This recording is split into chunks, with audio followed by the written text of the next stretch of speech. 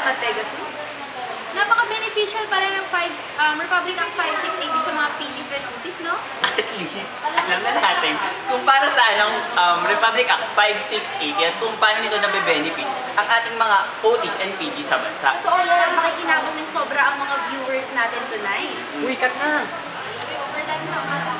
At yan ang mga nakalap namin mga balitang nagbabaga, nag-aapoy. Nagliliyap! Ako po si Jessica.